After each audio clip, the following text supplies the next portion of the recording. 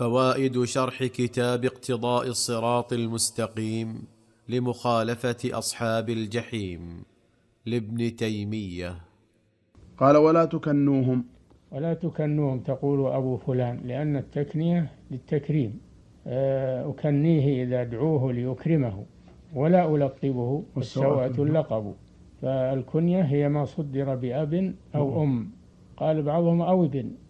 هذه هي التكنية. وهي للتكريم. فلا يقال للكافر يا أبا فلان أو الكافرة يا أم فلان من باب التكريم. نعم. يلحق بها قول السيد فلان؟ هذا أشد.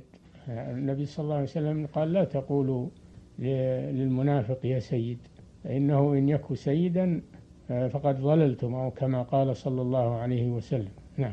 قال وأذلوهم ولا تظلموهم. أذلوهم ولا تظلموهم. انظر إلى العدل. نعم. أذلوهم يعني لا تكرموهم بل تجلوهم وتقدموهم لكن لا تظلموهم بأن تعتدوا عليهم وتقول هذا تقول هذا من إذلالهم. لا الظلم لا يجوز لا مع المسلم ولا مع الكافر ولا مع أي أحد. قال تعالى ولا يجرمنكم شنآن قوم على ألا تعدلوا. اعدلوا هو أقرب للتقوى. ولا يجرمنكم شنآن قوم أن صدوكم عن المسجد الحرام أن تعتدوا.